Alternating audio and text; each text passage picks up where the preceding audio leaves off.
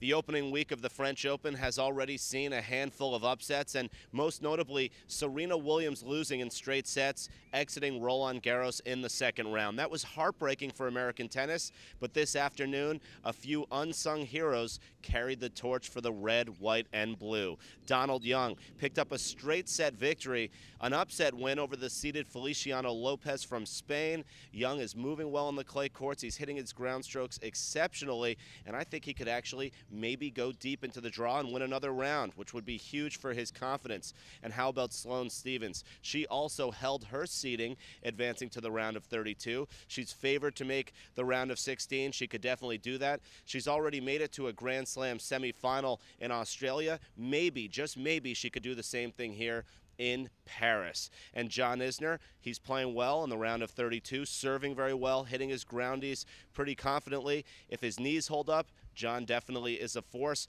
And as for the Spanish contingent, of course, Rafael Nadal moving on, and David Ferrer. He has never won a Grand Slam championship, but he definitely has the game to do it. He already has a win over Nadal. David was a straight set winner today.